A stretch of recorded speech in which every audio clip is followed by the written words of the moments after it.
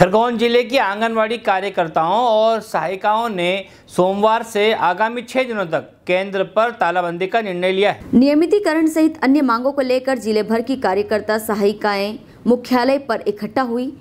यहाँ एसडीएम कार्यालय परिसर स्थित बगीचे में धरना देकर नारेबाजी की। कार्यकर्ताओं का कहना है कि कई वर्षों से काम करने के बाद भी हमें नियमित कर्मचारी का दर्जा नहीं दिया जा रहा, न ही सम्मानजनक वेतन मिल रहा। इससे कार्यकर्ताओं में आक्रोश है प्रदेश स्तरीय छह दिवसीय तालाबंदी का यह प्रदर्शन अनिश्चितकालीन हड़ताल में भी तब्दील हो सकता है। खरगोन से ब्यूरो की रिपोर्ट।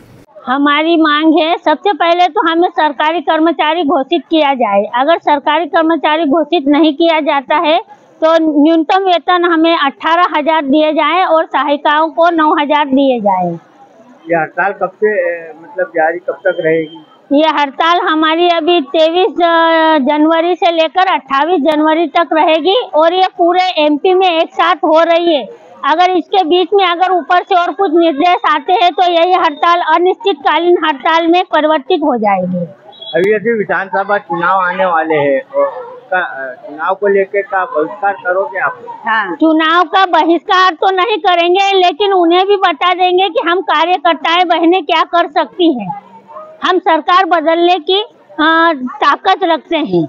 क्या नाम है आपका? कुमारी राम रामश्री ठाकुर जिला अध्यक्ष खरगोन। हम हमारी मांगे हम बहनों की कि पहले तो हमको शासकीय कर्मचारी घोषित करें और यदि शासकीय कर्मचारी घोषित नहीं करते हैं तो हमें अठारह हज़ार और हमारे सहायता बहनों को नौ हज़ार रूपए दिए जाए।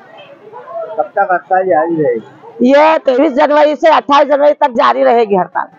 इसके बाद भी अगर समस्या इसके बाद भी यदि हमारी समस्याओं का निवारण नहीं होता है तो यह हड़ताल अनिश्चितकालीन के लिए भी परिवर्तन हो सकती है। यदि यदि आंगनबाड़ी में काम प्रभावित हो रहा है कि नहीं हो रहा है? आंगनबाड़ी का का, काम तो बहुत प्रभावित हो रहा है क्योंकि छह दिन तक अभी बच्चों का पोषण आहार बांटना भोजन नाश्ता नहीं मिलना इससे सरकार थोड़ी विचलित है। क्या मांग करते हैं आप? हम तो यही करते हैं कि हमारे हमको शासकीय कर्मचारी घोषित करें। क्या नाम है आपका? मेरा नाम अनुसुईया उदासी भारतीय मजदूर संघ संबंधित आंगनबाड़ी कार्यकर्ता सहायिका संघ के जिला मंत्री।